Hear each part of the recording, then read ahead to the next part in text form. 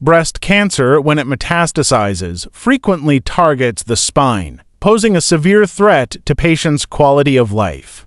This enigmatic phenomenon has puzzled scientists for years.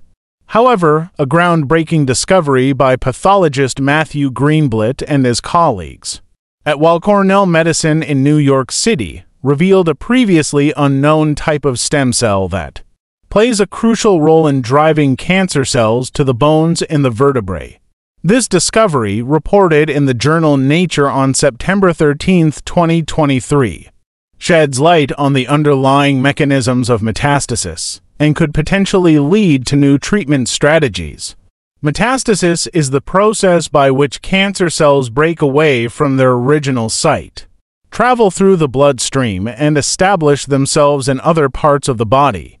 For individuals with metastatic breast cancer, approximately 70%